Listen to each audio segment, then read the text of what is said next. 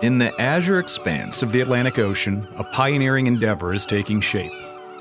The Vineyard Wind Project is an ambitious vision that's propelling Massachusetts towards a cleaner and more sustainable future. Vineyard Wind is America's first utility scale offshore wind farm. Embarking on a pioneering endeavor of this magnitude comes with its own set of challenges. However, standing at the forefront of these challenges are NECA contractor Fischbach and Moore, and IBEW Local 223. Watch now on ETV.